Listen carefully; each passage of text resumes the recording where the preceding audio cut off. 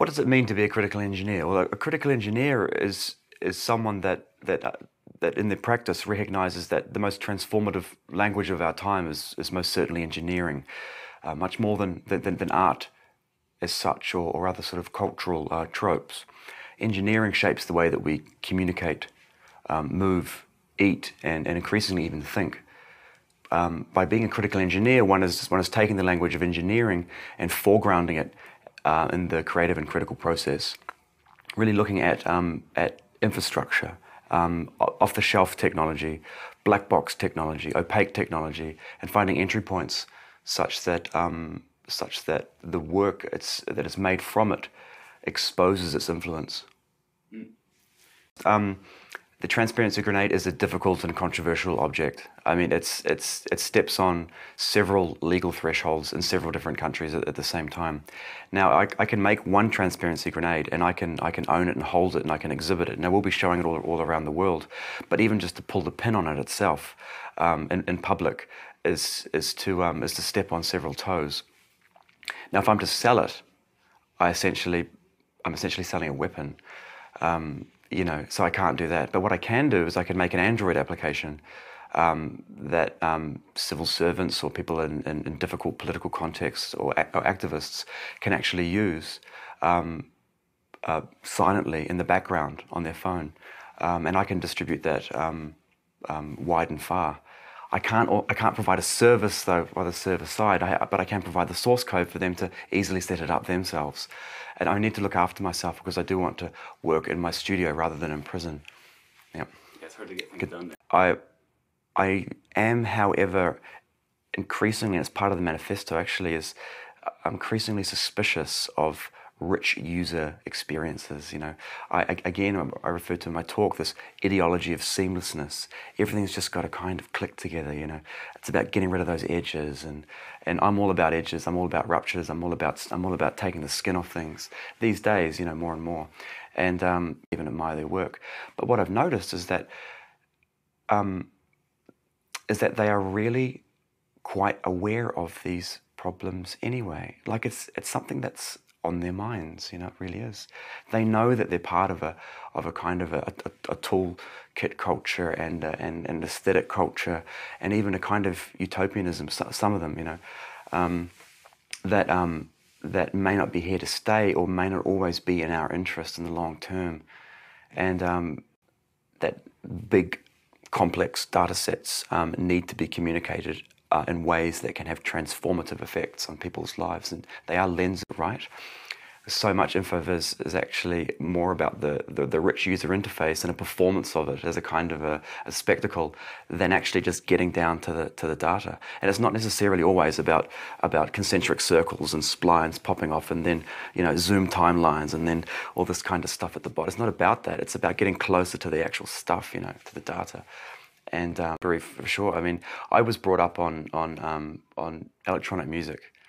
Um, my father was crazy for it, science fiction, um, you know, Omni magazine, you know, pyramid-shaped spaceships and stuff, and you know, heaps of computers. All the you know, as a kid, and uh, I will never forget um, the story, um, the Veldt of a family, essentially, a, couple essentially eaten by their own house, the smart house. I swear that I've never ever been able to look at my fridge the same way since. This is really true. I actually tweeted that recently. Science fiction, all science begins with fiction necessarily science is entirely made up. I mean, just like the number 246.13 doesn't exist in the universe, neither does the kilogram or the meter. You know, neither does the second law of thermodynamics. These are all um, attempts at preempting and approximating the universe such that we can move uh, in it um, somewhat reliably. Um, uh, Jules Verne um, wrote, a, wrote a, um, a book about getting to the moon and he described, the, to the best of his ability, um, something shaped like a rocket that was actually made of several parts, and and those those parts would, fuel cells and sort of midriff sections, would, would would disconnect as the rocket was actually making its way to the moon, so that only the last tip of the rocket that contained the people would actually need to, to travel that long distance. This was such a, um, an influence for um, some of the early uh, designers of um, of rockets that um, many science historians speculate, and, and quite reliably, I think, that Jules Verne actively influenced um, the shape of, of rockets in space as one of many, many examples. I, I, what, what, I, what I'd like to think that we can do is, is we, can, we can shape at least um, uh, ways of looking at technology and, and, and ways of you know, trying to build a, a vocabulary, a, a, a, productive discourse about, about really, as we use technology, we are used by it. You know, um, we, we extend ourselves through technology, and technology extends it, you know, itself through us. And so it's, it's very difficult to, um, to, um, to see critical engineering, I suppose, actually being formative in the shape of technology, but certainly in the way it's in, the way it's engaged, in the way it's understood and read. I would like to see a lot more healthy paranoia.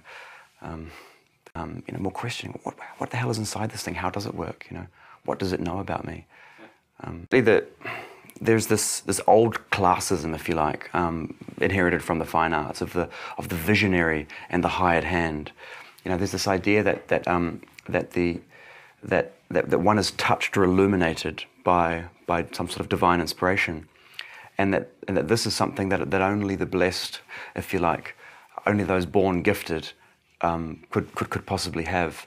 Um, labor and laboring and work is, is however associated with, with, the, with, the, with the terror, you know, as in ter- terror as in the earth. It's associated with the, um, with the mundane. And never the twain shall meet, you know. Um, the very oh, I, I, don't think I would be I would be programming at all now if it was not for the open source um, movement as a whole. Absolutely, it's um, the right to read um, is, is, is, is, the, um, is the potential to learn. Um, but um, the, the ability to actually mix code. And I don't think people talk about that enough, actually. But take a bit of that and a bit of that and a bit of that and get something going is, um, is in time with the way I work. Now, if I had to spend time, um, you know, just in, in, a, in a single um, closed source context where I was needing to ask for, um, for um, yeah, but I, I, actually I can't even imagine working that way. I mean, some of my friends, hacker, I mean, man, someone told me the other day that they're a food hacker, and I said, so you cook? And he said, yeah, cook. um, I mean, it's just, you know, I, I heard a, a guy also describe himself as an architecture hacker. And I said, what do you mean? He, said, I do, I do this, um, you know, projection mapping work. So he projects onto architecture, and he's sort of, he's hacking the architecture somehow. I mean, I want to distance myself from the term actually because I think it's just blown out, blown out, um, blown out of control. And uh, yeah, Lulzsec and those guys for sure. They are, I would say, they're, they're more sort of activists that that use um, various sort of hacker strategies. But I don't think that um, that much of the of the anonymous crew are particularly sophisticated. Really, it's like throwing stones. You know, DDoS, denial of service. Um, Lulzsec, however, are are, are pretty good, I think, actually. Are they critical uh, engineers? This is extremely interesting to me. I love networking and I love networks, um, and I love I love looking into the into, into the into the darkness, the void of, of a network, and then um, and then you know making the lights blink so I can see what's where and, and, and feeling it feeling it out, and then turning into a rich landscape um, through through probing, through you know. Um, you know, whatever port scanning or you know ping scanning and stuff like this, packet tracing. Um, um, imagine a city run, you know, run um, as an operating system, from the water to the electricity to the healthcare to pension payments to the traffic lights, and is it a, is it a 51% or, or more publicly owned um, operating system? You know, which la- which language context was it? I mean, did, does Oracle or Microsoft make operating systems for cities? Mean, we have Windows for warships. I mean, you know, is, is this okay? Um, are um, what, what are the implications of, of yourself as um, a mere um, um, generator of, of, of, of, sensor data? Do you own your route? Do you own your walk through a city? Um, do you own your position? You know, is it your civil responsibility to, to, to become a generator of data such that the city can function um, uh, more readily? Uh, where does that data go? Um, ropes engineering shapes the way that we communicate, um, move, eat, and, and increasingly even think. Well, typically it would involve someone who's a who's a trusted member of an existing organisation, right? Um, they would they would be known to the security guard. They'd be known to the boardroom. They might be in, in a, they might be a high level uh, civil servant. Um, they might know that there is a meeting going on that um, that is going to have you know, potentially devastating uh, effects to a large number of people, but that's being represented in public in a very very different way or if, if, if even represented at all. So it's a meeting that should be open, this person feels. So they would go into the, uh, into the meeting with the transparency grenade either in software form strictly on their Android device or with the, or the whole grenade, which would be really pretty neat.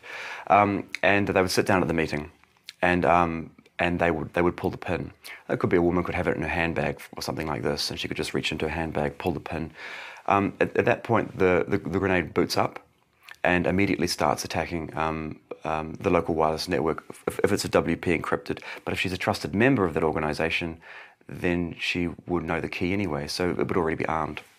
She pulls the pin, and uh, all of the data, the wireless traffic in the room as people are browsing on their tablet computers or on their smartphones, um, uh, is tunneled directly to the server along with the voice data, what is actually said in the room, which in, which in some ways is actually far more, um, far more uh, troubling uh, to the server where um, a detonation appears on the map at the actual point um, that the pin is pulled in the room.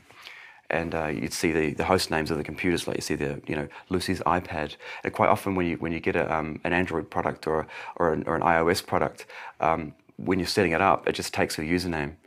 And so you'd have, you know, uh, Tony's iMac or, um, you know, John's Android or whatever uh, and you see the, the, uh, the MAC address, the IP, and you see the actual images and email fragments and HTML fragments um, as, as they're actually being browsed in the room, appearing on the map. And that's public. And